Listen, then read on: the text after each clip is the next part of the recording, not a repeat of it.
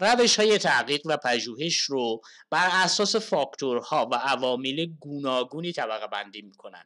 ما طبقه بندی های مختلف رو تو فصل دوم یعنی همینجا و جامعتر و کاملتر تو فصل سوم می‌خونیم. یکی از طبقه بندی های روش های تحقیق بر اساس هدفه. می‌خوایم ببینیم تحقیقمون هدفش بنیادیه یا هدفش کاربردیه. طبقه بندی های ریستری هم ممکنه داشته باشیم اما عمده طبقه بندی بر اساس هدف این دوتا مدله. طبقه بندی می‌تونه بر اساس داده های تحقیق باشه. داده های تحقیق می‌تونن از نوع اولیه باشن که باز خودش زیر مجموعه کمی، کیفی یا ترکیبی یا آمیخته داره می‌تونن هم دادای ثانویه باشن. باز دادای ثانویه هم مثل اولیه دارای طبقه بندی کمی، کیفی یا آمیخته هستند. گردآوری داده ها هم می‌تونن نوعی طبقه بندی ایجاد بکنن. داده ها می‌تونه گردآوریشون از نوع توصیفی باشه یا تحقیق آزمایشی باشه. تو فصل دوم دوستان ما همه طبقه بندی ها رو نمی‌خونیم. ابتدا تحقیق بنیادی و کاربردی رو با هم می‌خونیم. نوع اولیه و ثانویهش رو فقط کلیاتش رو می‌خونیم. چون تحقیقات بر اساس داده های کمی و کیفی آمیخته هم و طبقه بندی خیلی جزئی داره ادامهش رو در فصل سوم می‌خونیم. بریم ببینیم طبقه بنیادی و طبقه بندی کاربردی چیه. طبقه بنیادی و طبقه بندی کاربردی Basic Research Applied Research. Applied یعنی به کار بردن Basic یعنی پایه اساس مبنا. تعریفشون. طبقه تحقیق بنیادی یه فرایند مطالعه هست که از منظر تئوریک و نظری اساسا می‌خوایم ماهیت طبیعت و چیستی و چرایی یه پدیده رو مطالعه بکنیم. باعث میشه که دانش تئوری که ما انسان ها از جهانی که توش زندگی می‌کنیم بیشتر بشه. به همین خاطر هست که ما یه سری رشته ها داریم که بهشون میگیم علوم پایه. مثلا فیزیک، شیمی، ریاضی. مخصوصا گرایش های محضشون در طبقه تحقیقات و علوم بنیادی قرار می گیرن چند تا مثال براتون بزنم مثلا ما ممکنه بخوایم مطالعه بکنیم که ساختار دی ای انسان چگونه هست چه ماهیتی داره. می‌خوایم راجع به فتوسنتز گیاهان اطلاعات داشته باشیم این رو بفهمیم. می‌خوایم ساختار مغز انسان رو مطالعه بکنیم ببینیم چه جوری کار می‌کنه. می‌خوایم مکانیسم و عملکرد شکلگیری اقیانوس ها زمین ها سیاچاله ها رو بدونیم. اینها میشن تحقیقات بنیادی. در حقیقت تحقیق بنیادی این ریشه درخته پایه و بنیاد درخته.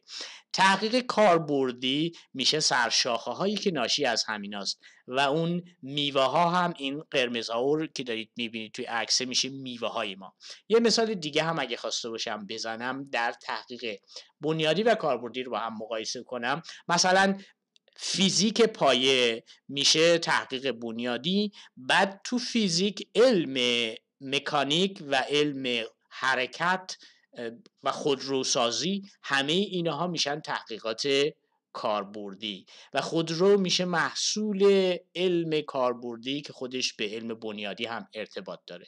تحقیق کاربردی در حقیقت به فرایند مطالعه پدیده ها از منظر کاربرد و عملکرد می‌پردازه. همه رشته های مهندسی که در واقع تکنولوژی ازشون تولید میشن تحقیقات کاربردی هستند با همدیگه این دوتا کنار همدیگه هم مقایسه می‌کنیم.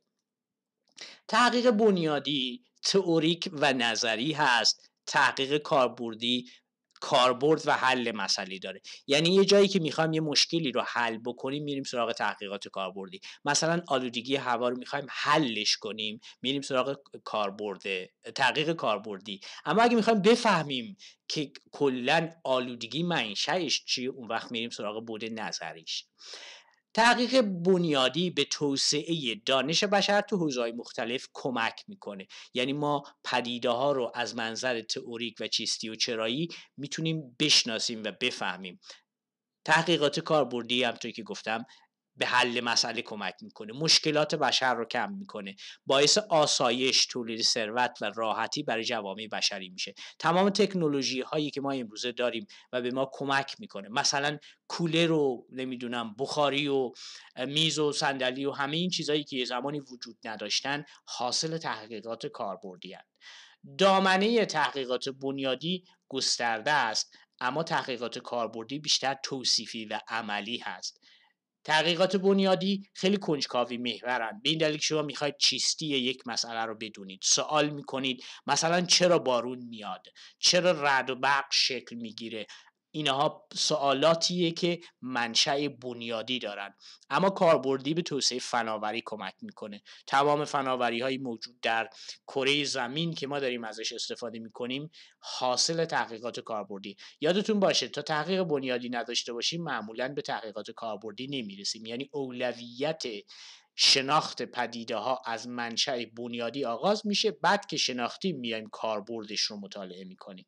روی کرده معمولا غیر تجاری داره. چرا روی کرده غیر تجاری داره؟ این که مثلا شما می‌فهمید چرا بارون میاد به سادگی نمی‌تونید ازش کالای تجاری بسازید. اگه خواسته باشید تجاری بسازید باید چیکار کنید؟ کاربرد اون رو مشتری مدار در تحقیقات کاربردی بررسی بکنید.